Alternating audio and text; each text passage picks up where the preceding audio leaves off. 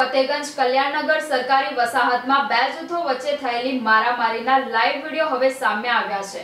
આ ઘટનામાં હિન્દુ પરિવારના પાંચ સભ્યોને નાની મોટી ઈજાઓ પહોંચી હતી ત્યારે આ બનાવમાં પોલીસે ચાર આરોપીઓની ધરપકડ કરી છે.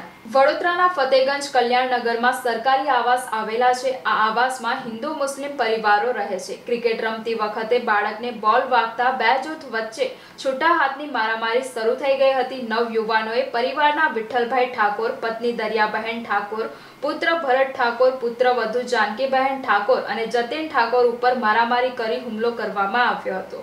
આ હુમલામાં પરિવારના પાંચ સભ્યોને ઈજા પહોંચી હતી. સરકારી વસાહતમાં થયેલી મારામારીના વીડિયો વાયરલ થયા હતા. યુવાનો દ્વારા કરવામાં આવેલા હુમલાના પગલે પરિવાર ભયના ઓથાર નીચે આવી ગયું હતું. ઈજાગ્રસ્તોને મોડી સાંજે સાજે હોસ્પિટલમાં ખસેડવામાં આવ્યા હતા.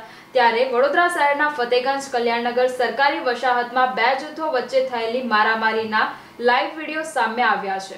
આ ઘટનામાં હિન્દુ પરિવારના પાંચ સભ્યોને નાની મોટી ઈજાઓ પહોંચી હતી. આ બનાવના પ્રત્યાઘાતો પડે તે પહેલા સયાજીગંજ પોલીસે આ અંગે તપાસ શરૂ કરી છે અને ચાર આરોપીઓની ધરપકડ કરી છે. એ ડિવિઝનના ઇન્ચાર્જ એસીપી અમી પટેલે જણાવ્યું હતું કે ક્રિકેટ રમતી વખતે બાળકને બોલ વાગ્યો હતો. આ મામલે વાતાવરણ ગરમાયું હતું. આ મામલે ગુનો નોંધીને વધુ તપાસ શરૂ કરી છે. ગઈકાલ તારીખ સોળ ઓક્ટોબર, રવિવારના રોજ સાંજે સાડા છ કલાકની આસપાસ કલ્યાણનગર વિસ્તાર છે, સયાજીગંજ પોલીસ સ્ટેશન વિસ્તારમાં આવે છે. ત્યાં ફરિયાદી જે છે, ભરત વિઠ્ઠલ ઠાકોરના છોકરાઓ કલ્યાણનગર સોસાયટીના બધા જે છોકરાઓ છે, એ બધા ક્રિકેટ રમતા હતા. એમાં એક છોકરા એક છોકરા દ્વારા બીજા છોકરાને, ફરિયાદીના છોકરાને બોલ વાગી ગયો છે. પીઠમાં બોલ વાગ્યો હતો, તે બાબતે પછી જે ફરિયાદીના છોકરાઓના જે ફરિયાદીના છોકરાના મા બાપને પરિવારવાળા છે એ સામે કહેવા ગયા કે આવી રીતના બોલ વાગ્યો છે.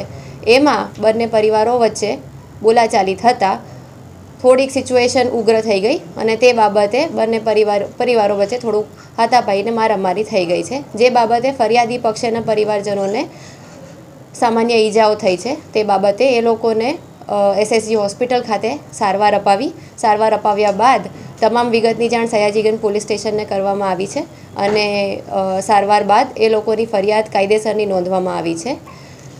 ફરિયાદી પક્ષે સંપૂર્ણ વિગતો, હકીકતો જાણ્યા બાદ નવ આરોપી આઈડેન્ટિફાઈ કરવામાં આવ્યા છે.